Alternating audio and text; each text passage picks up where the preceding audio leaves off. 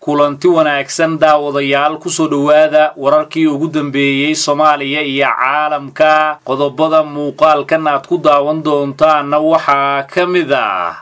xildhibaanada ka tirsan golaha shacabka ee laga soo doortay deegaanada maamulka galmudug oo ku biiray kacdoonka iyo howlgallada ka dhanka kooxda al-shabaab ee ka soconaya gobollada soomaaliya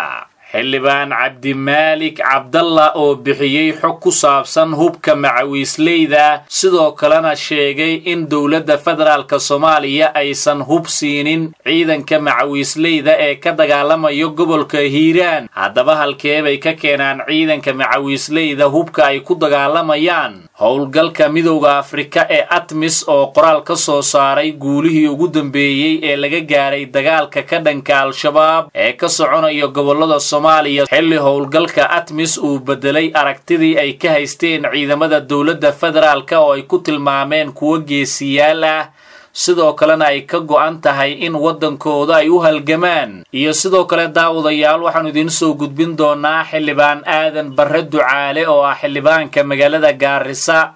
oo ka mid noqday golaha wasiirada cusub ee madaxweynaha kenya william ruuto iyadoo xildhibaan aadan barrena loo magacaabay wasiirka gaashaandhigga ee waddankaasi kenya. Qodobada iyo qaar kale oo faahfaahsanaya daawadayaal muuqaalkan ku daawan doontaan haddii aad nagu cusub tahay nagu soo biir oo janalkan sabskribe saar si aad oga mid noqoto saaxiibada helo wararka aanu halkan soo gelinno. Aynu ku bilownee daawadayaal xildhibaano iyo saraakiil ciidan ayaa ku biiray howlgallada ka dhanka al-shabaab ee ka socdo deegaanada hoostago degmada baxdo ee gobolka galgaduud. Howlgalladan oo xoogaystay maalmihii la soo dhaafay ayaa waxaa jidda hore ee warbaahinta kula hadlay qaar ka mid a xildhibaanada baarlamanka galmudug. Hori deegaanadaasi waxaa u joogay wasiir ku-xigeenka wasaaradda warfaafinta cabdiraxmaan yuusuf al cadaala xildhibaan cabdisaabir nuur shuuriye iyo saraakiil ciidan oo xasan jaamici uu ku jiro xildhibaan guray geesey oo ka tirsan baarlamanka galmudug islamarkaasina hogaaminayay mas'uuliyiinta maanta gaartay jidda hore ayaa soo tiriyey dhowr deegaano oo kooxda lagu xoreeyey sidoo kale xildhibaanka ayaa sheegay in deegaanada la xoreeyey ay soo kormeereen balse ay soo arkeen in dadkii iyo weliba duunyadii ku noolaa ay guryahooda ka qaxeen si ay naftooda u badbaadiyaan. Xildhibaan gurey ayaa dadka ka qaxay deegaanada laga saaray al-shabaab. Waxa uu ugu baaqay inay dib ugu soo laabtaan guryahooda islamarkaasina ay qayb ka qaataan difaaca deegaanadooda waxaa dhinaca kale sii kordhayaa mas'uuliyiinta iyo saraakiisha ciidamada ee maalmahan gaarayay jidda hore ee dagaalka gaar ahaan gobolka galgaduud oo abaabul iyo guluf dagaal oo xoog leh uu weli ka soconayo dhanka kale howlgalka midowda afrika ee soomaaliya ee atmis oo qoraal ka soo saaray howlgallada ay wadaan ciidamada xoogga dalka soomaaliyeed iyo guulaha ciidanka ay ka gaareen howlgalkaasi ayaa ammaanay ciidanka oo geesiyaal ay ku tilmaameen sida ay ula dagaalamayaan kooxda al-shabaab. Atmis ayaa qoraalka ay soo saartay ku sheegtay in ciidamada dowladda soomaaliya ay soo bandhigeen awooddooda taasi oo suurtagal ka dhigtay in al-shabaab lagala wareego deegaano gacanta ay ku hayeen tobankii sannadood ee la soo dhaafay.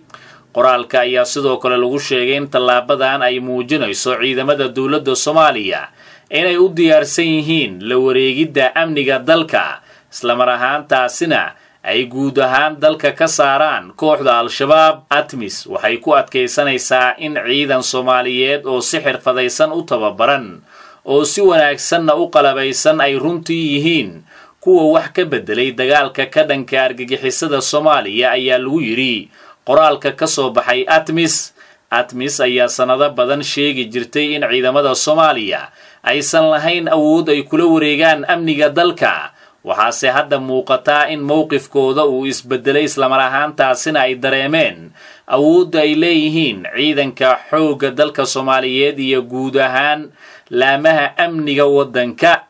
Sida ay ku heshiiyeen dowladda soomaaliya iyo howlgalka atmis ciidamada dowladda soomaaliya ayaa lagu wareejin doonaa guud ahaan amniga dalka. Marka la gaaro dhammaadka sanadka labada kun labaatan iyo afarta iyadoo dalka isaga bixi doonaan guud ahaan ciidamada ku sugan ee u joogo nabad ilaalinta dowladda soomaaliya ayaana haysataa ciidamo aad u tababaran oo la carbinayay shantii sano ee la soo dhaafay. Sidoo kalena ilaa shan kun oo ciidamo dheeraad ah ayaa eritereya lagu tababaray kuwaasi oo weli dalka lagu soo celinin balse dowladda federaalka ay qorshaynayso in si deg dega waddanka lagu soo celiyo. Howlgalka amisom ee loo bixiyey atmis ayaa muddo shan iyo toban sano ah ku guulaysan waayey in dalka ay ka saaraan kooxda al-shabaab. Waxaase muuqataa in kooxda weli ay haysato awood militari oo aan la dhayalsan karin atmis ayaa lagu dhaliilaa inay soomaaliya u joogto oo keliya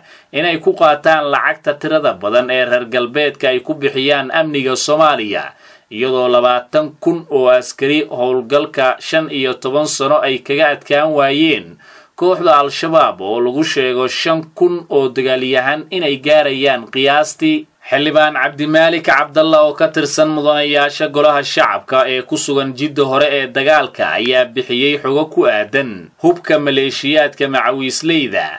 ee dagaalka kula jiro al-shabaab. Xildhibaanka ayaa marka hore ganafka ku dhuftay wararka la baahiyey ee dhinaca baraha bulshada oo la xidhiiro in dowladda soomaaliya ay hubaynayso beelo gaar ah oo degto hiiraan. Cabdimaalik ayaa shaaca ka qaaday in wararkaasi ay yihiin kuwo barabaganda ah waxaana uu tilmaamay in macawiisleyda ay yihiin ciidan beeleed u taagan la dagaalanka kooxda al-shabaab si looga saaro guud ahaan deegaanada ay kaga sugan yihiin gobolka hiiraan. Sidoo kale waxa uu tilmaamay in hubka ay haystaan si gaar ah iyagu ay u leeyihiin islamarkaasina aysan jirin saanad ay ka helaan dowladda dhexe sida uu hadalka u dhigay. Sidoo kale waxa uu ugu baaqay guud ahaan dadka soomaaliyeed inay qaataan doorkooda una istaagaan. Duulaanka ka dhankaa kooxda al-shabaab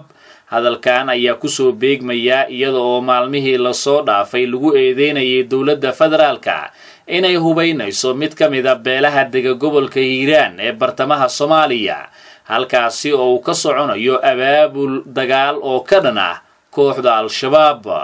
Qaybihii hore ee warkeenna ayaad daawanaysaan daawadayaal iminkanna xildhibaan faarax macalin dawaara oo ka mid a baarlamanka dalka kenya ayaa weerar afka ku qaaday mas'uuliyiintii hore ee dowladda soomaaliya islamarkaasina ka hadlay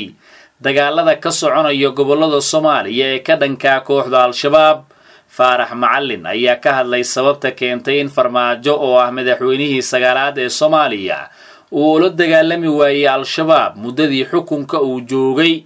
xildhibaankan soomaali kenyaanka ah ayaa hoosta ka xariiqay in tiro dhowr jeer ah uu farmaajo weydiiyey inuu xoreeyo al-shabaab. Deegaanada ay ka joogeen soomaaliya balse uu qaaday jidkii aan saxda ahayn waxa uu ku dhaliilay faarax macalin in farmaajo uu maraykanka weydiistay ka caawinta in la ciribtiro al-shabaab balse uu ilaaway in shabaabka ay abuureen maraykanka iyo weliba reer galbeedka. Faarax macalin ayaa si aada u dhaliilay qaabkii farmaajo uu u wajahay. Kooxda al-shabaab iyo weliba sidoo kale guuldarradii uu kala kulmay farmaajo in kooxdaasi dagaalka iminka ay la gelayso dowladda federaalka. Mid la mid ah uu la galo kooxda waxa uu ku tilmaamay madaxweynihii hore ee soomaaliya mudane maxamed cabdulaahi farmaajo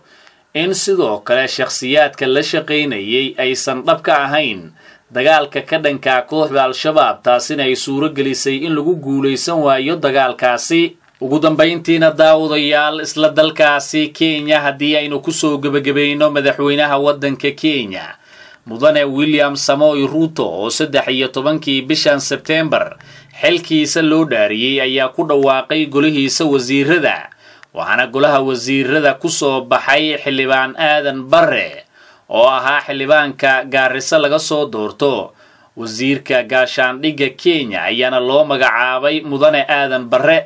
Aadan barre oo hadda ah xildhibaan laga soo doortay gaarisa ayaa si aada looga filayay inuu ka mid noqon doono golaha wasiirada ee madaxweynaha cusub ee waddankaasi maadaama ay aada isugu dhow yihiin madaxweynaha dalka kenya ee majaraha u hayo iminka. Waxa uu hadda u baahan yahay inuu iska casilo xilka xildhibaannimada ka hor inta uusan la wareegin xafiiska wasaaradda gaashaandhigga ee dalka kenya ee loo magacaabay. Golaha wasiirada william ruuto oo ka kooban labiyo labaatan wasiir ayaa waxaa lagu wadaa in loo gudbiyo baarlamaanka si ay uga doodaan amaba sidoo kale turxaan bixin ay ugu sameeyaan. Ka hor inta magacaabistooda aan si rasmiya loo ansixinin william ruuto oo ah madaxweynaha kenya ayaa sheegay inuu ka rajaynayo golaha wasiirada cusub si deg dega inay u howlgalaan fulinta ballanqaadyadii uu sameeyey intii lagu guda jiray ololaha doorashada kadib marka baarlamanka ay ansixin ka helaan guud ahaan daawadayaal intaas ayaanu ku soo gebagabeynaynaa muuqaalkan aad ku daawanayseen wararkii ugu dambeeyey soomaaliya iyo caalamka. Tan iyo intaanu daawadayaal dib ugu kulmi doona muuqaalo kale. Waxaanu iminka idinkaga tegaynaa sidaas iyo nabadgelyo